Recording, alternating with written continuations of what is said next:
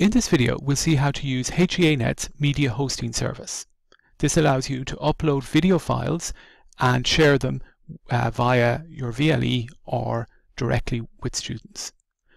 Uh, in addition, students can use this service.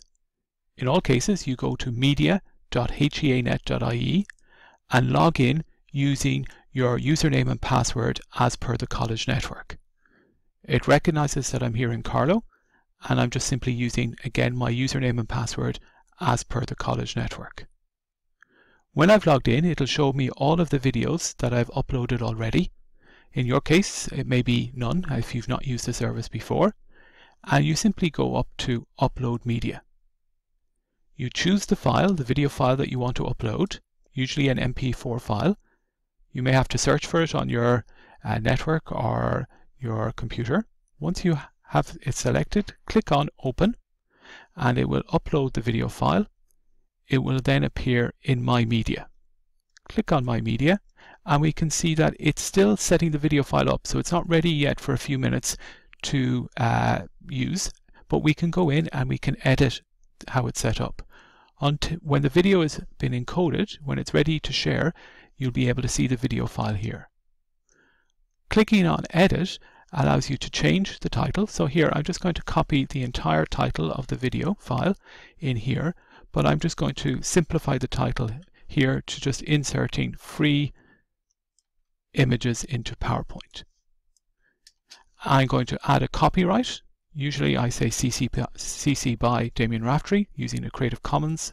And in this case, I'm going to also add tags. These are useful if you've lots of videos to search for videos that are specific to a particular topic or module.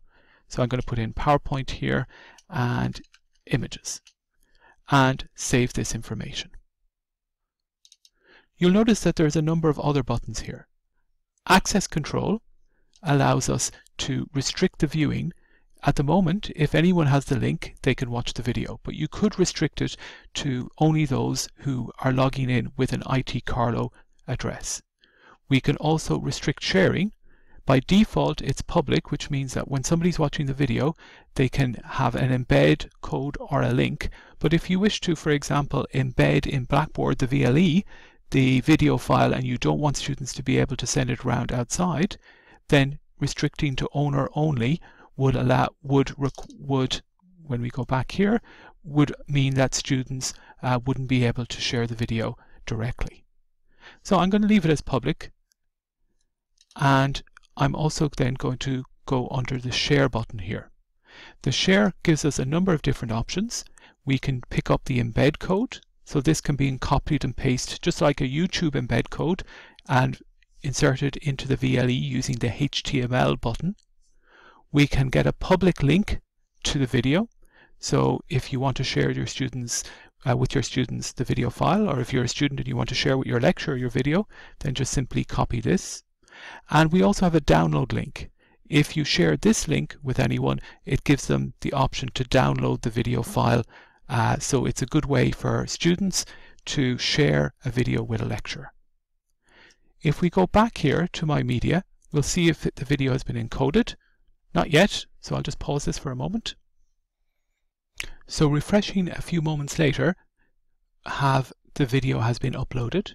So going back in, we can play the video. So we can see the video file here and we can preview how it's shared as well. So you have a direct link and you have the embed code and an ability to share to Facebook and Twitter. If you allow, again, we'll scroll down here, that's assuming under access control you have restrict sharing to public.